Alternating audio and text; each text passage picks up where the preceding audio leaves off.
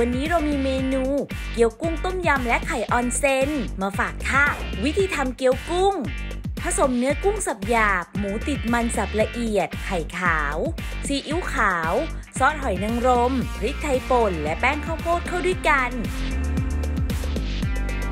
ตักส่วนผสมที่ได้ลงบนแผ่นเกี๊ยว ห่อให้สวยงาม จากนั้นนำไปลวกในน้ำเดือดจนสุก แล้วตักขึ้น เคล้ากับน้ำมันกระเทียมเจียวเล็กน้อย เตรียมไว้ค่ะ วิธีทำน้ำต้มยำ ต้มน้ำจนกระทั่งเดือด ใส่เครื่องต้มยำตราโลโบ ต้มจนมีกลิ่นหอม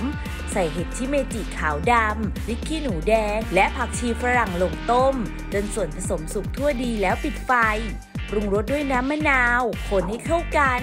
ตักน้ำต้มยำใส่ภาชนะที่มีเกี๊ยวกุ้งเตรียมไว้ ตามด้วยไข่ออนเซน แต่งหน้าด้วยพริกขี้หนูสวน และช่อผักชีให้สวยงาม พร้อมรับประทานค่ะ กับเมนูเกี๊ยวกุ้งต้มยำและไข่ออนเซน เพียงแค่มีโลโบติดบ้านไว้ ไม่ว่าเมนูไหนก็เป็นไปได้